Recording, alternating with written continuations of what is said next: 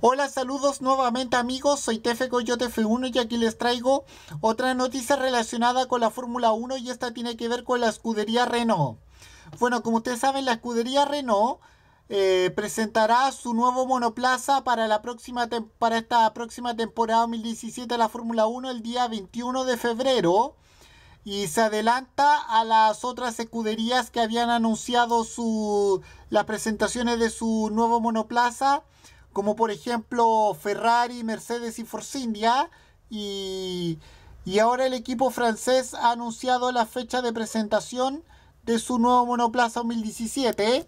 Y, y dice acá, no dice acá cuándo va a ser eh, la presenta en qué lugar va a ser la presentación de su nuevo monoplaza. Eh, eh, espero que sea, no sé, en Francia, en Inglaterra, donde sea. Bueno, con esto me despido. Nos vemos en otro video. Soy TF Coyote F1. Adiós. Chao.